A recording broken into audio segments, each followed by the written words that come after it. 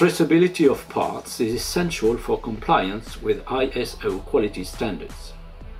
Scribing marking allows manufacturers to automate marking operations and ensure a high level of control. The mark is made through contact of a tungsten carbide stylus with the surface of the part. An optional diamond tipped stylus is also available.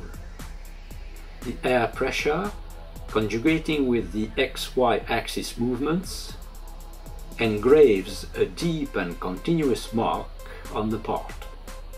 Scribing is ideal for deep marking of up to 0.3 mm on hard material with minimal noise level. Logos and alphanumerical characters can be created with the scribing process. How does it work? The marking head of the scriber is positioned along X and Y axes with stepper motors. Vertical movement of the stylus is controlled pneumatically with a solenoid actuated directional control valve and return spring. The depth of the mark can be adjusted by varying the air pressure.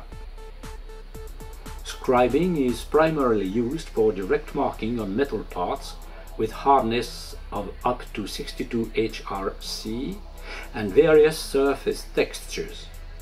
It is also used to mark tags which can be fixed on parts. Scribing is quiet, reliable, efficient and especially accurate for deep marking.